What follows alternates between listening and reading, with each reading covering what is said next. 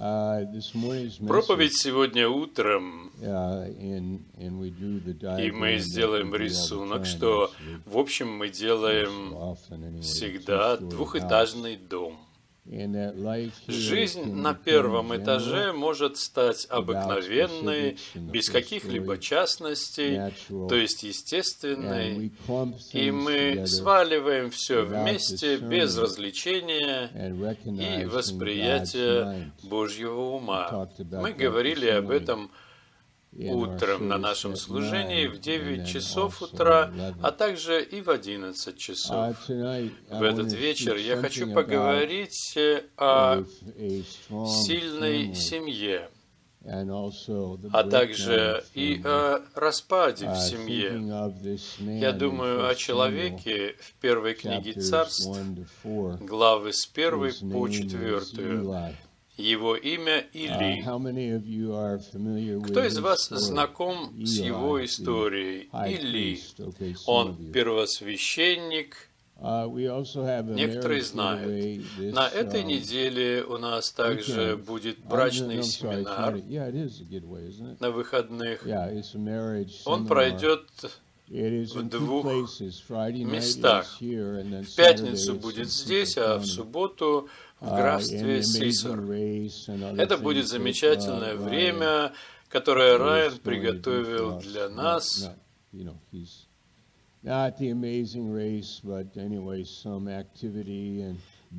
Это будет общение, время вместе как семьи uh, и как семья.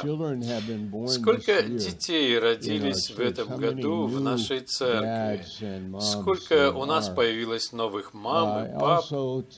А также и о людях старшего поколения, um, находящихся здесь, в нашей семье и о времени, в которое мы живем, а также о тяжелых событиях, которые произошли в семье, а также и о чудесных событиях, которые произошли. Итак, я хочу поделиться об этом, потому что на нашем рисунке, и я верю, что ключом является весь дом, оба этажа. Вот что необходимо в каждой области жизни, везде – на моей работе, в моем имении, мой возраст, мое здоровье, мои друзья, моя квартира или дом, мои дальние родственники, мои мысли о будущем, а также и о прошлом. Uh, Семья важна. В этой истории мы видим этого священника по имени Или. Uh, Он был судьей Израиля и священником. Он носил можно сказать, два головных убора. Но, как кажется, его головной убор как отца был третьим убором, и он был не совсем умелым в качестве отца. Мы читаем о его двух сыновьях во второй главе, 12 стихе. Сыновья же Илия были люди негодные на английском языке сыновьями Велиара. Они не знали Господа. Трудно растить семью, когда ваши дети не знают Господа. Но вот эти сыновья, сыновья священника, и он также является судьей Израиля, и он был таковым 40 лет. И в истории вы можете видеть, что он был человеком Божьим, он был чутким. Когда Бог обратился к Самуилу, то Самуил прибежал к Или. Или задал ему пару вопросов. Самуил отправился спать и снова услышал слова от Бога. Или сказал, «С тобой разговаривает Господь, слушай его, и потом расскажи мне все, что он тебе uh, говорит». Этот человек представляет некоторый парадокс, потому что он призван Богом, он священник Божий, он судья Израилев. У него есть эти два поста, но, возможно, мы могли бы сказать, что пост отца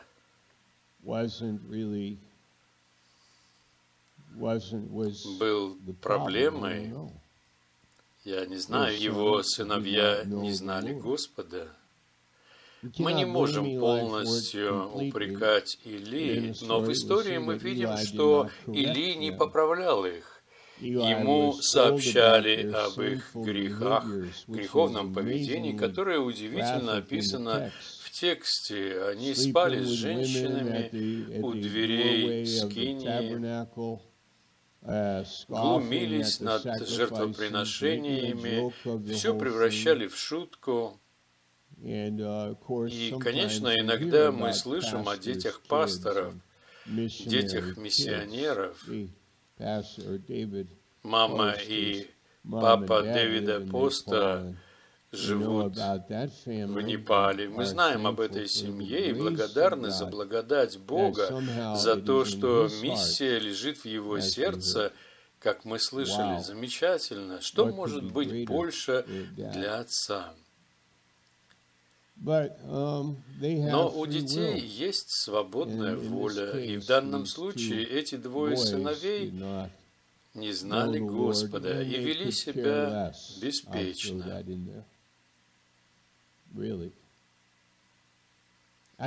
Я думаю, что иногда в наших семьях дети бывают сыты по горло Божьими делами разговоре о Боге, изучениями Библии, Божьей молитвой, Божьими собраниями. Все связано с Богом все время, но все-таки мы, возможно, упускаем связь. У Или были эти двое сыновей в качестве священников, потому что таков был порядок, когда отец был священником, его сыновья были священниками. Так было установлено в Ветхом Завете. Но в их жизнях нечто отсутствовало. Или где твой головной убор отца? Это напоминает мне об истории, в которой рассказывается о человеке, который изучал империи мира. И вот он приходит в христианскую школу, проводит там лекцию, он доволен этим. И когда он приходит домой, его встречает жена с двумя детьми и еще маленьким ребенком. А он только что проповедовал лекцию о Британской империи. Мать говорит, пожалуйста, подержи вот эту маленькую империю немного, позаботься о нем. Нет, ну что ты, я не справлюсь с малышами.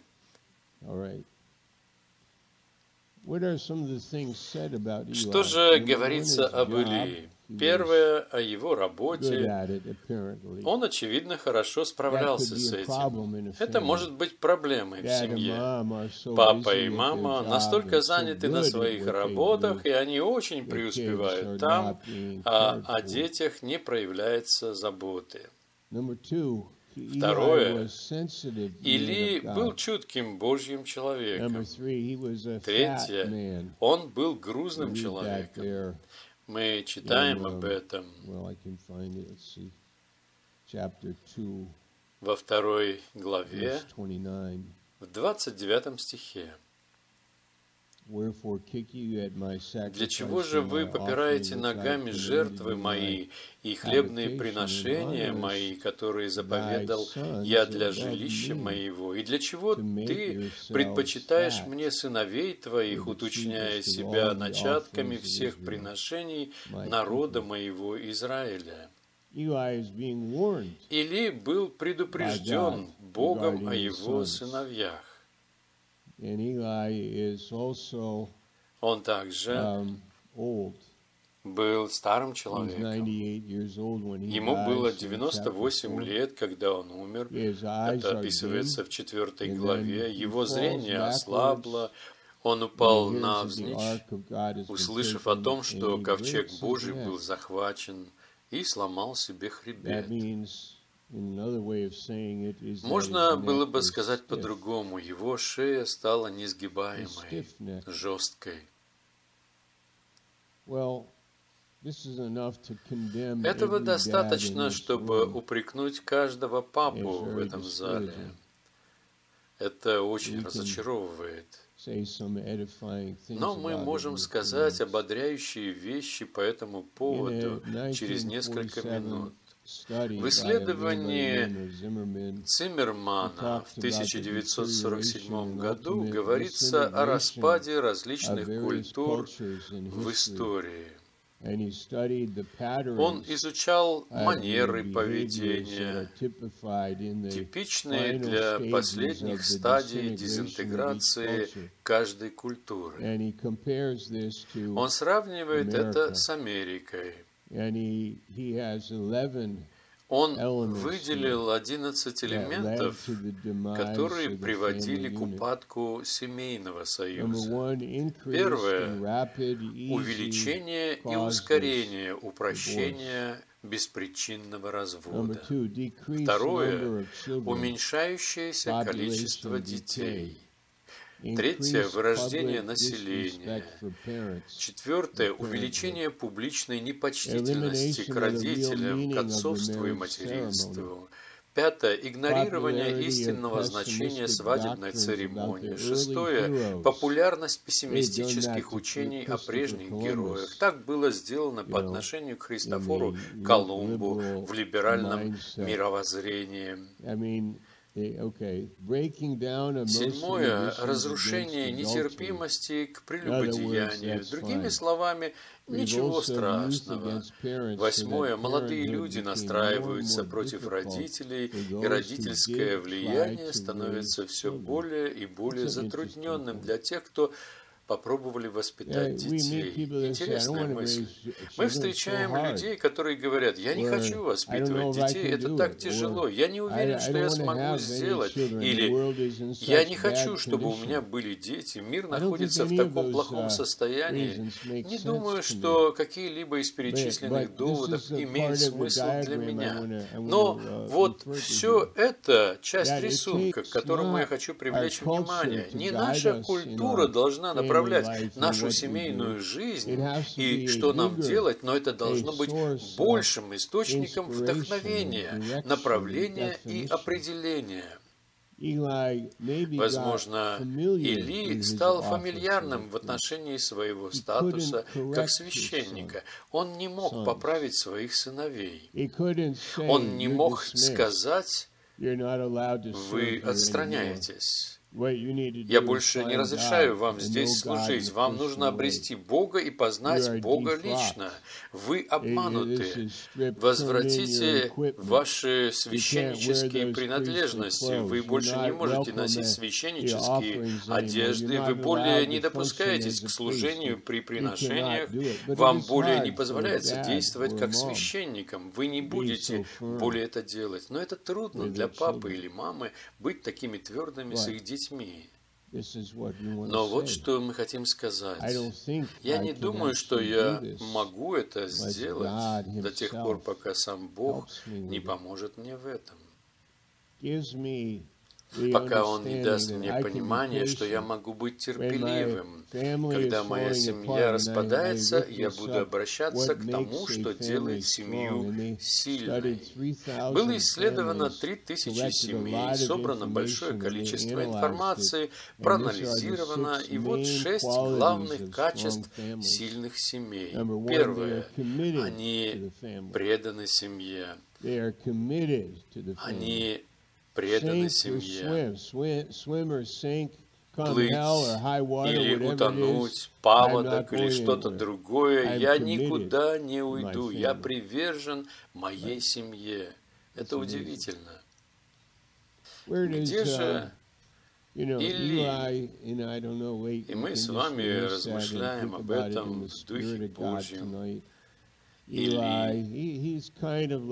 он был человеком, о котором некоторые изумляются, потому что он сочетание Божьего человека, и затем вот такая слабость. И Дэвид Райан говорил, он говорил о том, что нет храбрости, in his mother and just completely throw under the bus. Он said, сказал, you know, I, I have a, he didn't say this, а нет, он это не говорит. I have a yellow streak Во down my мне трусливый зайчишка, когда давление нарастает, я исчезаю, я не хочу увязнуть в неприятности, я ее избегаю, я не хочу выглядеть плохо, не хочу быть смущенным, я не хочу предстать перед фактом, я не хочу быть ответственным. Я избегаю этого, потому что человек таков. Так what было с Адамом и Евой. А где вообще был Адам, когда Ева разговаривала с дьяволом? Да, наверное, сидел с пультом управления и просматривал каналы телевидения, нажимал на кнопки, а она там на кухне разговаривает с дьяволом, а он смотрит свою любимую программу. Это я. Если бы не было того, что на рисунке это вы и я, если бы не было того, что на рисунке. Это же удивительно. Бог посещает нас в духе. Бог приводит нас в общение в духе. Бог ведет нас, и мы каким-то образом понимаем, как жить и как любить. Если я устраняюсь, то где любовь? Если я не со своими сыновьями, то где же любовь? Если меня нет с моими дочерями, когда они нуждаются во мне, где же любовь? Если я не с церковью, то где же любовь? Я видел, как люди приходили, и они были как будто здесь наслаждались происходящим, и они хотят быть используемы. Я думаю, что это важно вступить и быть вовлеченным, потому что вас нуждаются. Но Некоторые просто уходят, и вы думаете, ну почему? И они говорят, потому что вы не делаете это, не делаете другое.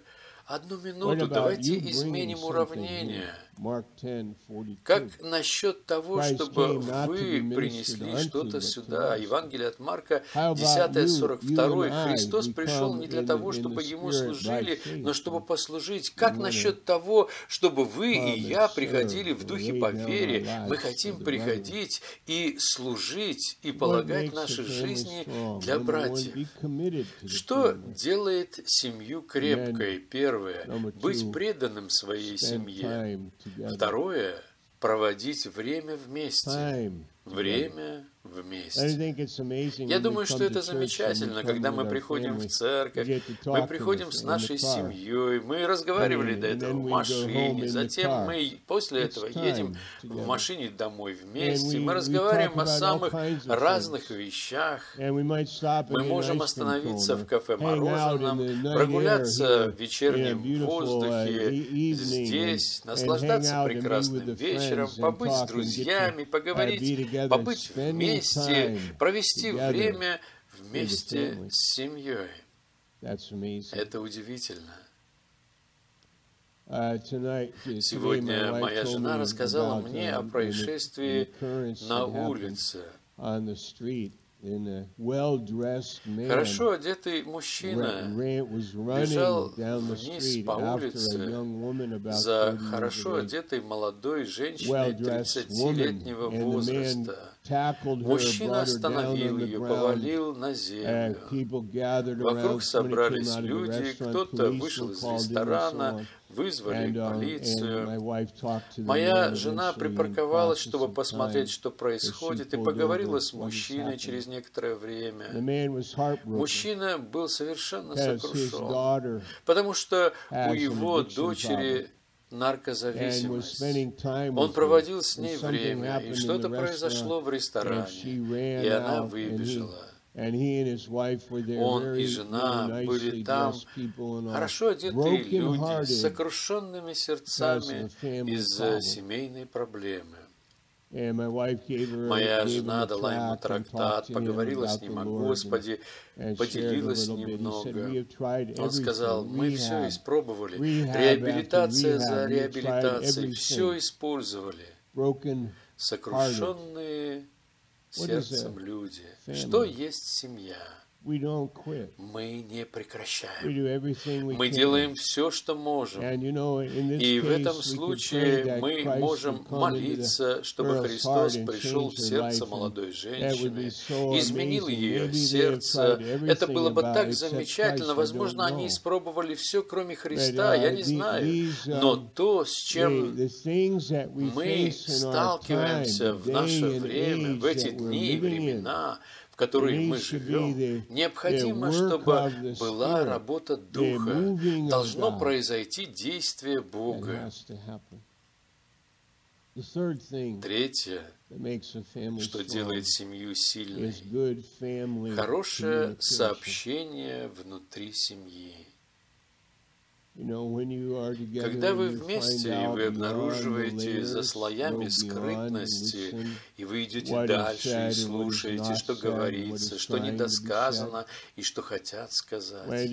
Когда вы понимаете, что ваш сын, возможно, проходит через испытания, или ваша дочь в замешательстве, что бы там ни было, когда в семье боль или в сердце у кого-либо, посмотрите, Или был в некоторых обстоятельствах очень хорошим, а также чувствительным, но он был также тучным. Он хорошо насыщался, но не имел того, в чем он в действительности нуждался, чтобы взять своих сыновей и поступить с ними так, как того хотел Бог. Вы можете прочитать это в истории здесь. Сыновья, я хочу поговорить с вами. Я очень серьезен. У вас есть немного времени. Исправьтесь. Или же вы не сможете делать то, что вы делаете здесь. Вы должны быть священниками Бога, и если вы не исправите ваши сердца, то мы внесем изменения, потому что я возглавляю это, мог бы сказать Или. Так не может продолжаться. В семье Или не было хорошего сообщения друг с другом. Однажды они насмехались над ним. Вы можете прочесть об этом. Я хочу сказать вам, что мы можем чувствовать и понимать, что происходит. Если мои сыновья неверующие, то это не остановит меня веровать, что они могут стать таковыми. Если они, как верующие, не следуют за Христом, это не означает, что мое взаимоотношение с ними закончено. У меня есть члены семьи, которые серьезно обеспокоены и находятся, возможно, в серьезных переживаниях в своем сердце, то это конфиденциальная информация. Мы об этом не распространяемся, не сплетничаем, сплетничаем. Есть нечто важное. Это мой член семьи. Он блудный сын или блудная дочь. Каким бы ни был случай, но именно Бог может возвратить их. И я всегда буду для них там, рядом, могли бы мы сказать. Четвертое обстоятельство в этом списке – признание ценности друг друга в семье. Это серьезно. Я ценю тебя. Мы связываемся по телефону, мы разговариваем, мы поддерживаем связь друг с другом, мы заботимся. Это признание ценности друг друга. Где мы обучаемся этому? Здесь, в нашей семье здесь. Мы ценим друг друга, мы любим друг друга. Мне это нравится, это удивительно, когда мы можем сказать доброе людям, ободрить их, укрепить их. Учитесь быть назидающими, обучитесь, как говорить ободряющие слова, не искусственно, но от нашей наших сердец, как мы думаем о людях. Вы всегда можете найти что-то замечательное, за что мы можем быть благодарны. Семья, которая наполнена множеством признательности, множеством ободрения, множеством понимания. В семье нет привычных стандартов для критики, которые распространены. Или ты для нас пример человека,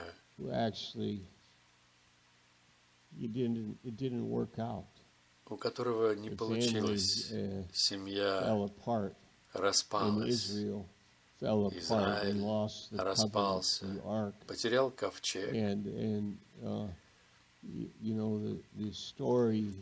Вы знаете эту историю.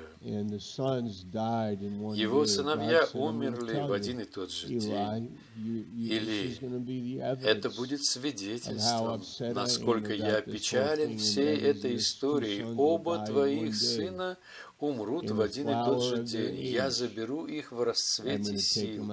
Это могущественное событие. Мы здесь говорим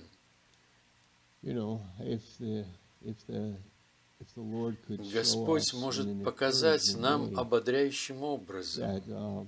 Uh, Боже, помоги мне, помоги мне, будь там, помоги мне увидеть это, как Ты видишь, помоги мне давать то, что необходимо, что нам поможет и направь нас в пути, которым мы должны uh, идти. Помоги мне иметь то, что необходимо, чтобы uh, мы не скользили, как все в этой стране, чтобы мы не шли с первым этажом дома, и чтобы у нас были настоящие убеждения в происходящем, чтобы наши дочери были девственницы, чтобы наши молодые парни были девственниками, когда они женятся, чтобы они не избирали развлечений с алкоголем и наркотиками, чтобы наши семьи не были отчуждены друг от друга, когда молодые люди уходят, и вы больше их никогда не увидите, чтобы было нечто в нас, передаваемое от Бога и Его сердце в нас, чтобы мы могли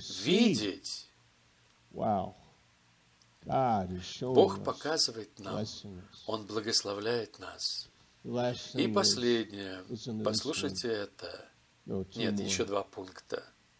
Семья сильна, когда в ней есть духовная приверженность. Духовная приверженность. Духовное убеждение. Появилась идея, что мне можно отойти, не пойти в церковь, отправиться на байдарки. Однажды я занимался виндсерфингом и встретил дальнего знакомого. И он сказал, мой Бог здесь, в природе. Я ответил, я пастор, и я хожу в церковь. Я не хожу в церковь, я здесь на природе. Он говорил это добродушно.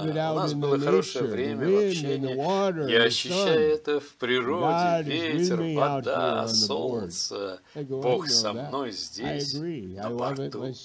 Я продолжаю, я знаю это, я согласен, я тоже люблю это. Но этот ветер и эта природа не могут сказать мне о Божьей благодати, не могут мне открыть, кто такой Христос. Я не могу узнать по этому ветру, солнечной погоде и воде, а было довольно прохладно. Я не могу понять, желанный ли я в Доме Бога. Мне необходимо пойти, услышать это и ясно понять это. Я знаю обо всех подобных вылазках, поход в горы в Колорадо, они делают это все время, путешествуют пешком, их Бог это их чрево, но необходимо откровение Духа, чтобы Библия рассказала мне, кто такой Бог, и полюбить Его всем сердцем.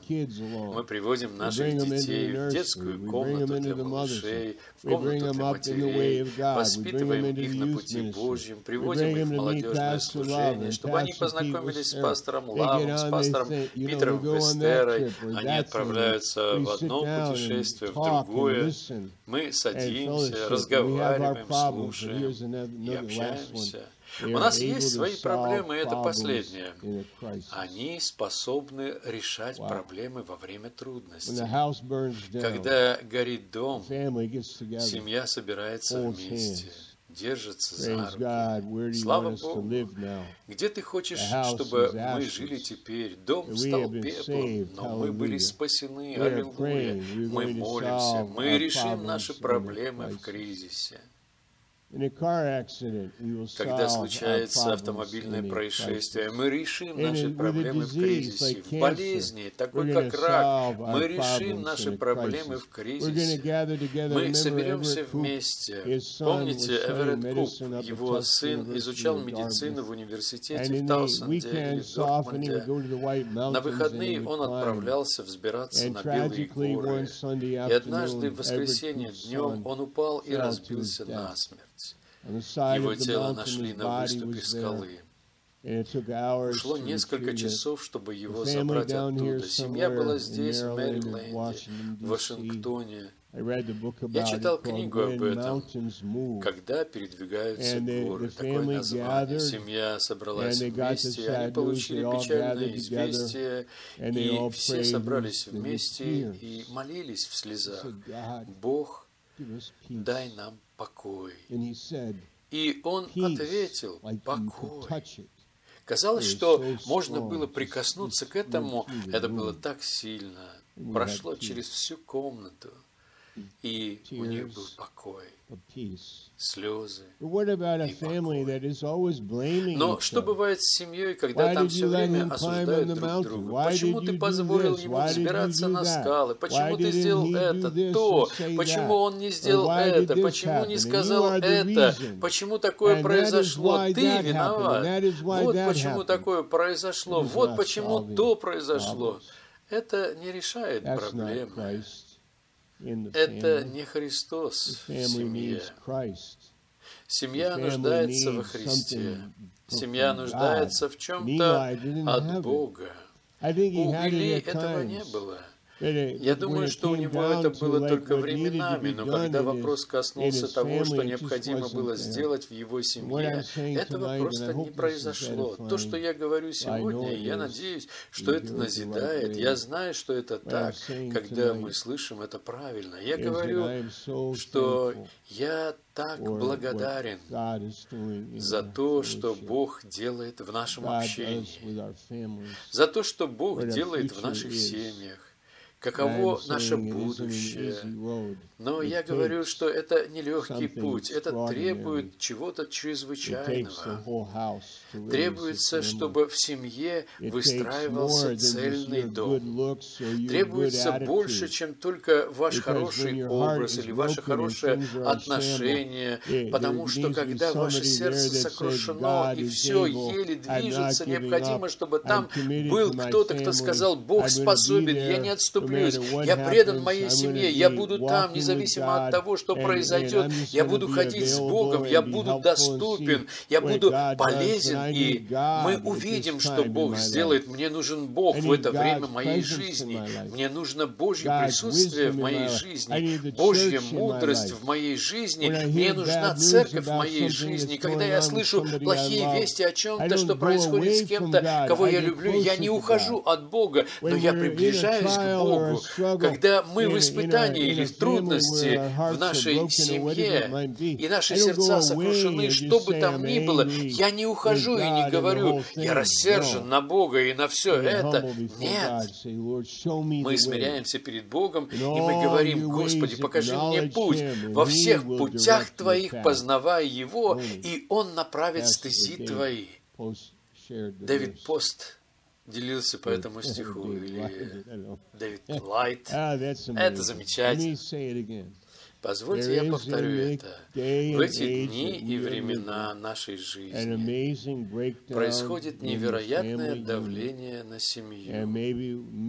Возможно, вы обнаружили это, видели, может быть, часть этого, но не отчаивайтесь, потому что Бог – скорый помощник во всякое время. Бог способен показать вам, как идти. Бог способен ободрить вас во внутреннем человеке. Бог способен показать вам, как быть любящим, верным, добрым, дарующим, ободряющим.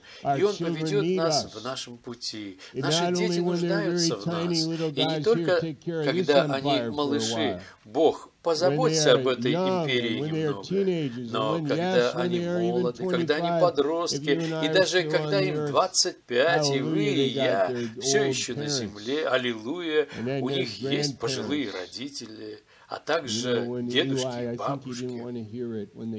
В случае с Илией он не хотел слышать о них. Когда к нему приходили и говорили о его сыновьях, он закрывал уши. Говорится, что человек Божий пришел и сказал ему, что происходит, но не думаю, что Илий воспринял это. И затем он говорит своим сыновьям, что происходит, я слышал об этом, и все на этом.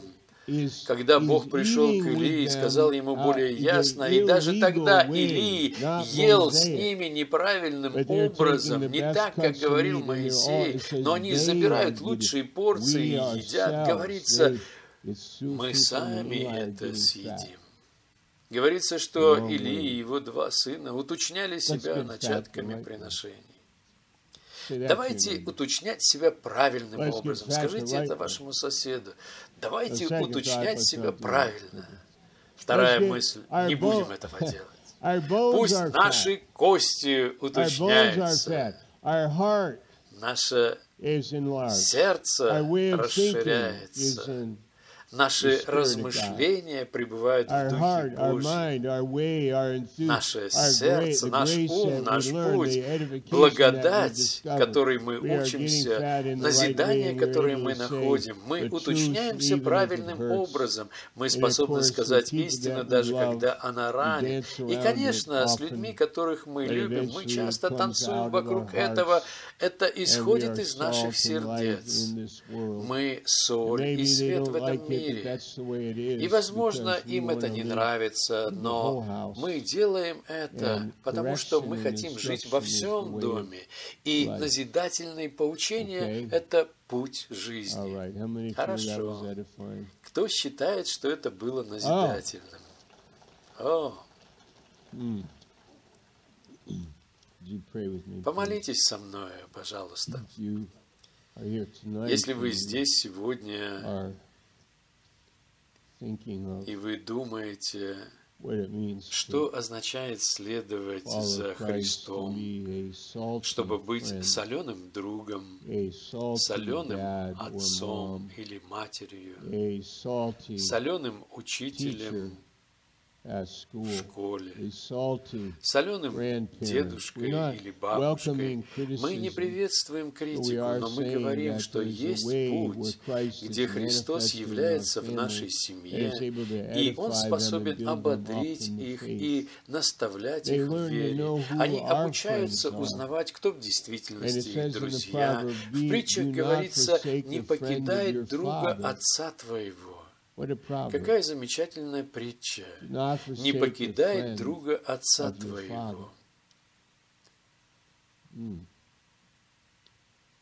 Если вы здесь и у вас нет Христа в вашей жизни, пожалуйста, примите Его сегодня, поверьте в Него в вашем сердце, доверьтесь Ему, доверьтесь Ему сегодня, поверьте Ему лично, и Христос спасет вас. Христос заберет ваш грех и даст вам вечную жизнь.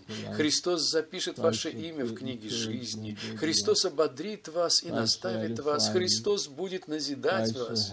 Христос поможет Христос прощает вас и укрепляет вас.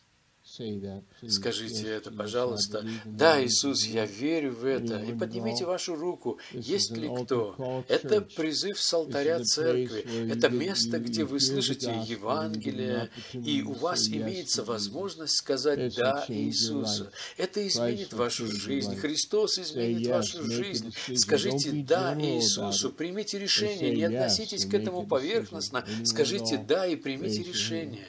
Есть ли кто? Поднимите вашу руку. Есть есть ли кто? Да, Иисусу. Благодарим Тебя, Отец. Благослови наши семьи. Используй это для нашего научения во имя Христа. Аминь.